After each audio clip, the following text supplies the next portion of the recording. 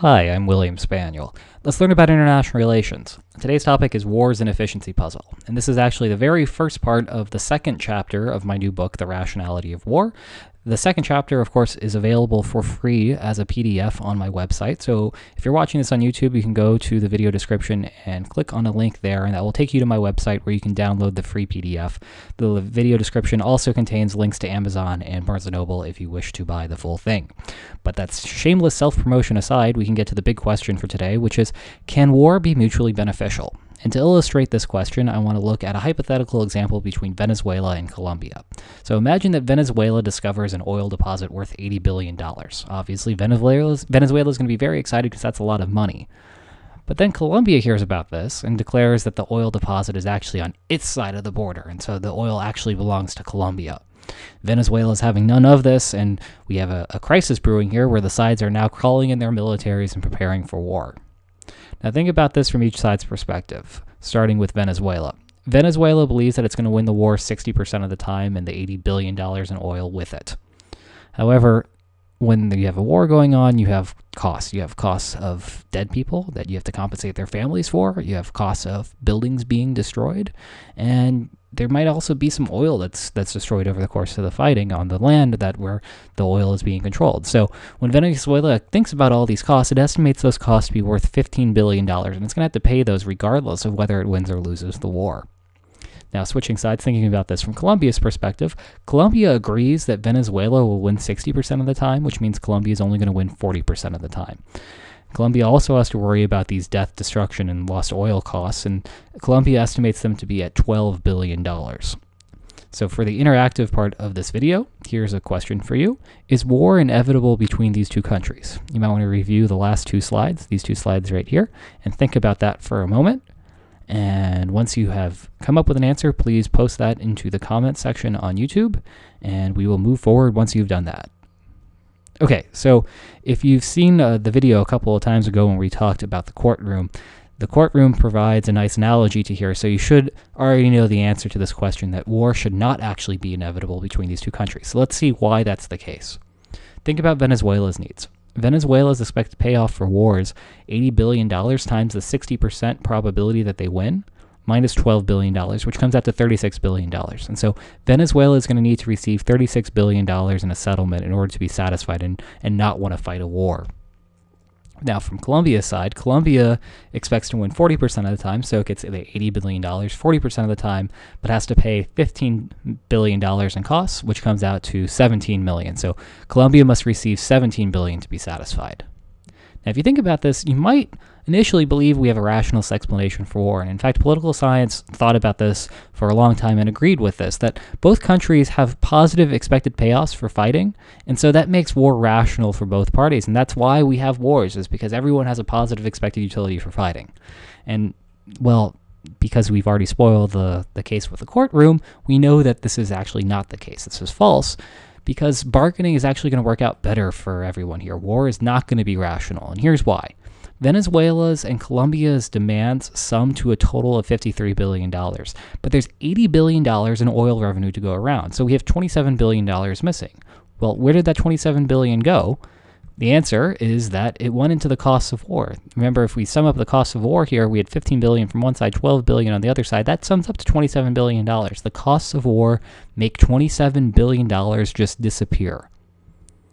So let's think about a better resolution. Let X be Venezuela's share of the settlement.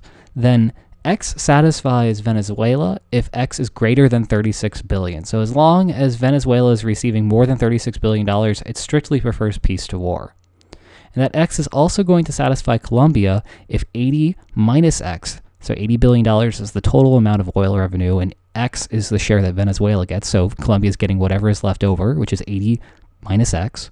If that's greater than $17 billion, then Colombia is satisfied. So, in other words, if X is less than $53 billion, then Colombia is satisfied. So, if Venezuela gets no more than 53 billion and Colombia is getting the rest, then Colombia is happy with that resolution and wouldn't want to go to war.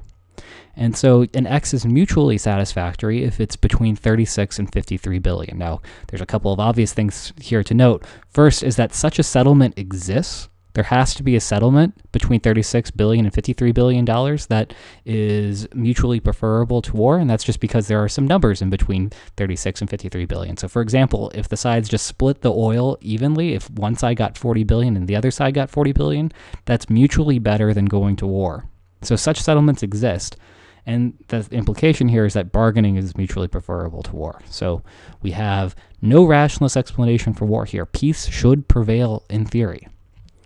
So this leads to War's Inefficiency Puzzle, which is the subject of this video. War's Inefficiency Puzzle is just a research question that asks, why do states sometimes choose to resolve their differences when, with inefficient fighting when bargaining, in theory, leaves both sides better off? So in this example, we saw a peaceful resolution, but we know that in practice, states sometimes fight.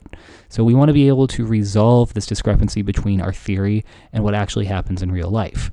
Now, one possible reason that you might think that we have this discrepancy is that there might have just been some quirk with the payoffs that we use for Venezuela and Colombia, something to do with the amount of oil or the probability of victory or the side's cost. Maybe there was some mathematical quirk to the specific example that we gave here. And what we're going to be doing in the next three videos is actually showing that this is no quirk and this is actually a trend. And the way we're going to do that is by looking at three separate results of this model, this, this bargaining model of war. We're going to start out by looking at an algebraic model, which is basically what we've been doing in this video, except we're going to generalize the, the subject. So instead of having a specific probability like Venezuela wins 60% of the time, Venezuela is going to win the war with probability P. And rather than having specific numerical costs for each side, we're just going to call them C. And we're going to see that the same result holds when we use these general terms.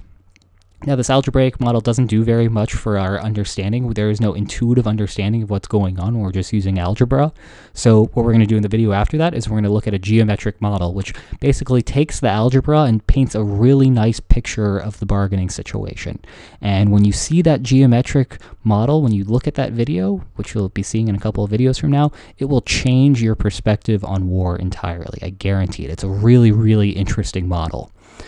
And then the last thing we're going to do is turn all of this into a game theoretic model. The reason for it is that, as this has, has previewed, is that we're not going to get a war result here, and we need to get that war result somehow because we got to resolve this war's inefficiency puzzle, right?